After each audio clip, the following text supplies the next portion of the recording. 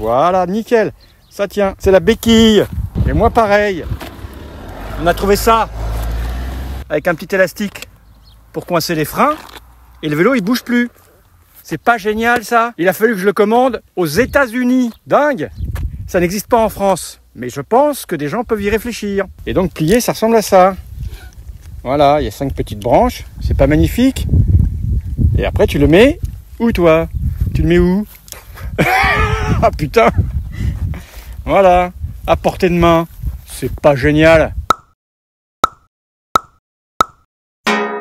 Cette vidéo ne contient aucune communication commerciale. En effet, j'avais un problème, j'ai tenté de le résoudre en faisant des recherches et je suis tombé sur ce produit que j'ai commandé en ligne, que j'ai payé avec mon propre argent, sans informer le fabricant que potentiellement je pouvais en faire une vidéo. Vous voilà prévenu. Et si après cette déclaration et cette transparence, vous n'avez toujours pas confiance, je n'ai qu'une chose à vous dire, allez vous faire cuire le cul.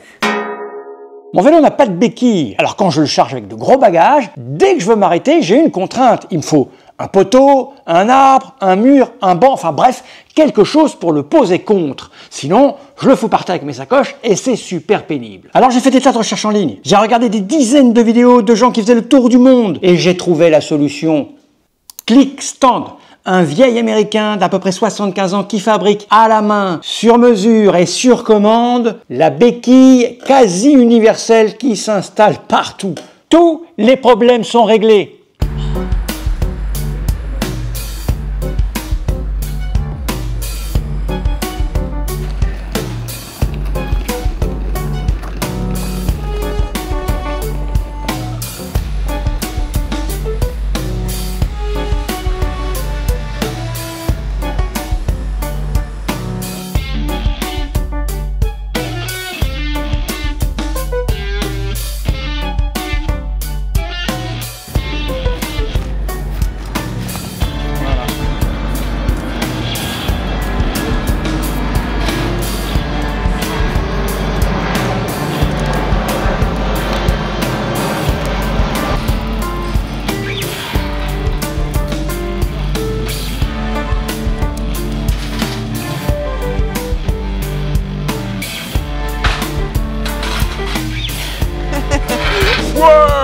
Le principe est simple, je vous montre.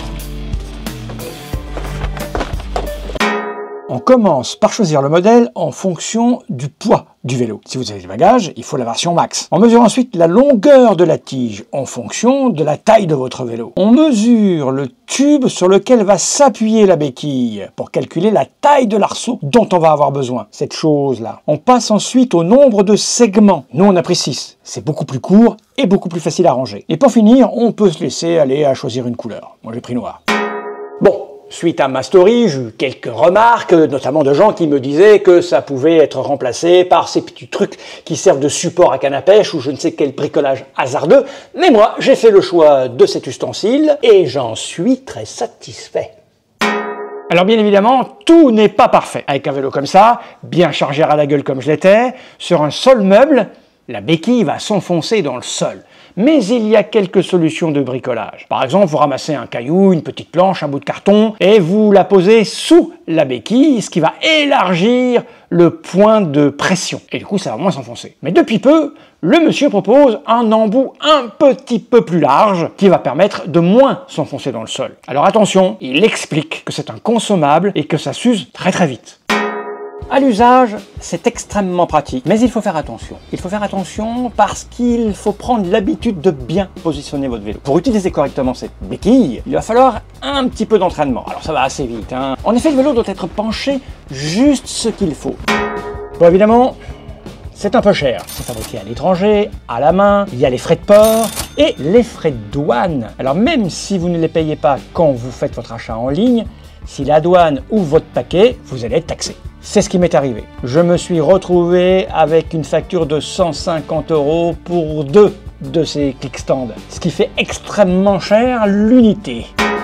L'homme qui a inventé cette chose s'appelle Tom Nostrand. C'est un Américain qui vit du côté de Washington. Il a créé ce truc parce qu'il avait un besoin et que ça n'existait pas. Il en a vendu 17 000 depuis qu'il s'est mis à faire ça. 17 000 et il assure n'avoir eu que 3 retours de malfonction sur 17 000 exemplaires. Ce qui serait cool, c'est qu'on puisse trouver ça directement en France, avec une TVA raisonnable, des frais de port raisonnables, et surtout éviter les frais de douane. Parce que ça, ça ne doit pas valoir très cher à fabriquer. Hein Bon ben voilà, vous savez tout ou presque. Je vous mets en descriptif les liens vers le site officiel. Attention, je n'ai pas de code promo, je ne toucherai rien. Je vous le répète, cette vidéo n'est pas une vidéo promotionnelle. Je la fais parce qu'on m'a demandé des informations sur ce petit objet. Et comme j'aime rendre service, allez, à bientôt, peut-être.